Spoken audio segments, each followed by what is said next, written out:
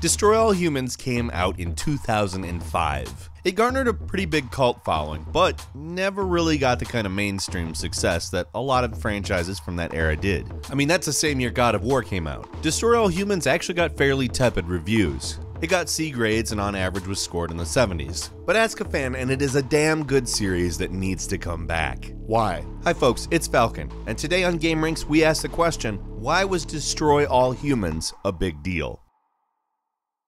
Four years prior to Destroy All Humans, Grand Theft Auto 3 came out on the PlayStation 2. It was a game that basically changed what everyone expected from video games because open worlds were suddenly possible. Yes, there were variants of open worlds before Grand Theft Auto 3, but nothing like that game. Over the next few years, that concept developed. We got lots of different ideas to fill up the whole open world. We got more comedy oriented versions of it, more vehicle oriented versions of it, just a lot of different ideas. By the mid 2000s, we really started to see ideas that went way above and beyond the formula. Destroy All Humans is one of those games. The premise is that a race of aliens has basically cloned itself to a point where they're facing extinction. They need more variants of DNA, so they come to Earth, kill a bunch of humans, and steal their DNA. It's absurd. It's not a plot where you would go, wow, that's amazing. It's a plot that's a setup for gameplay mechanics. And for this kind of a game, that's all you really need. Because for the time, the gameplay mechanics are extremely inventive.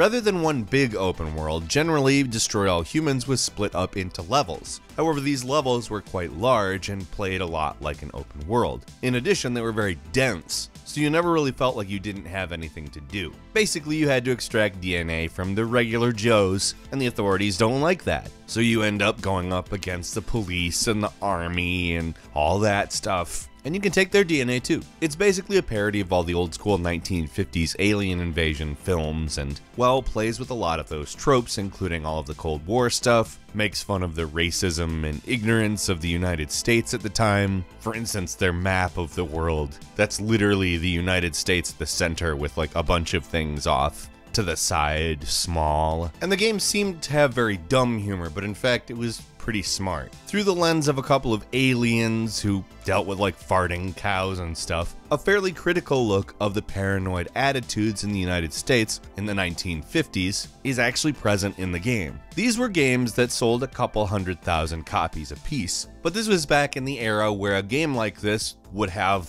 maybe couple million dollars spent on it. When the development budget is one, maybe two million dollars, and the advertising budget is maybe the same, bringing in between 13 and 18 million dollars is, well, quite profitable. That's a pretty good return on investment. It didn't really matter that the games weren't well reviewed. What mattered is that people liked them enough for them to make money when they made one. Now, in the corporate world today, that's not how things work. Those numbers are more akin to the indie sphere, but at the time, a new successful franchise is obviously important. As new games were released, it got lower and lower scores, but people liked the series. It was always willing to take risks, and though those risks didn't always pay off, it's a series that's a reminder of how games used to be in a lot of cases. As you progress through the game, you got new powers, for instance, telepathy. You could mask yourself as a human using psychokinetic powers, ooh.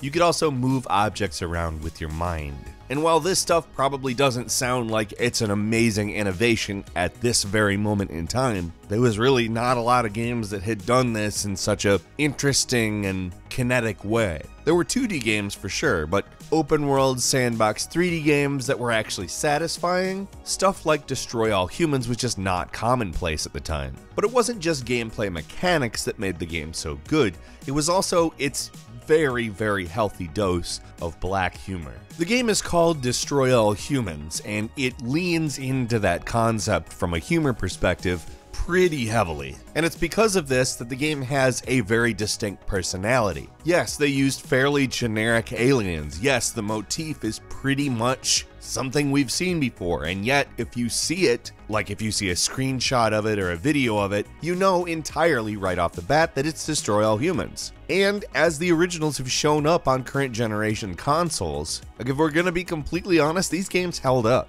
The controls are a little bit 2005, but they're fun. These games are really fun. The short answer for why Destroy All Humans was a big deal was because it was a breath of fresh air. It came during an era where a lot of things were a breath of fresh air, where a lot of ideas in 3D games were just starting to get their footing. Certainly, Nintendo blew the lid off those things in 1996 with Mario 64, which is still an incredibly fluid and well playing game that the newest Mario has a lot in common with, in all honesty. But a lot of developers didn't really attempt to go that far beyond that. We got shooters, we got mascot platformers, and we got RPGs. That was basically 3D games. The point is, Destroy All Humans was a game that took a fairly generic concept and through humor and incredibly good gameplay mechanics, made something entirely new that hasn't really been reproduced in any form since. It's a game that's very fun and doesn't take itself too seriously in any respect, and is more than happy to make fun of itself even.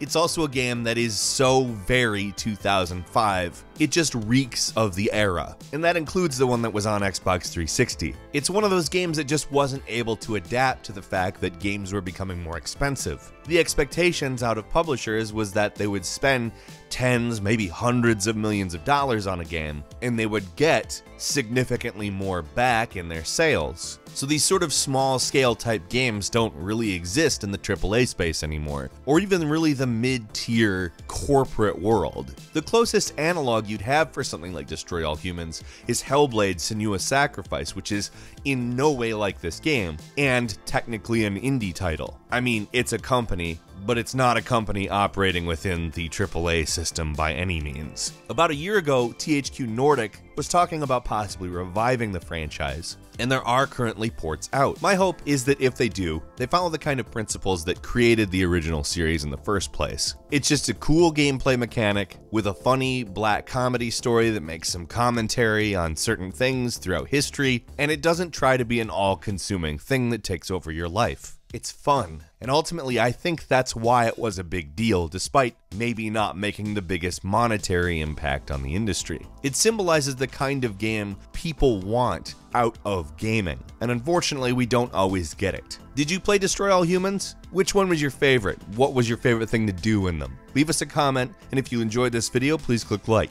If you're not subscribed, now would be a great time to do so. We upload brand new videos every day of the week, and the best way to see them first is, of course, a subscription. As always, we thank you very much for watching this video. I'm Falcon. You can follow me on Twitter at Falcon the Hero, and we'll see you next time right here on Gameranx.